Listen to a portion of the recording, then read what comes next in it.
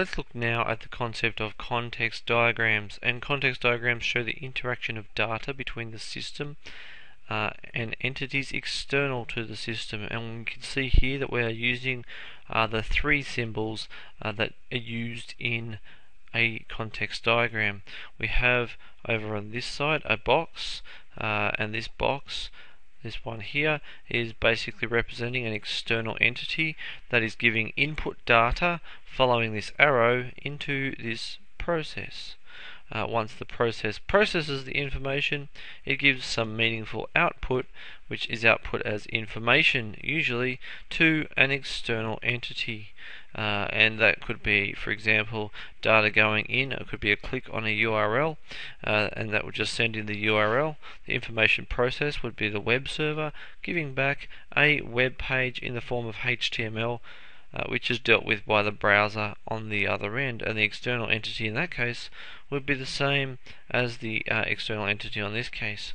You can have as many external entities as you need.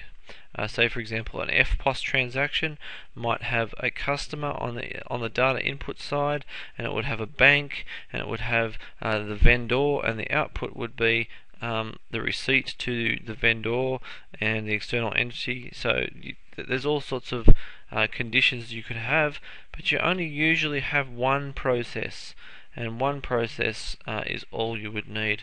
Um, these, these diagrams commonly occur in both the HSC for information processing and technology, and also uh, for software design development.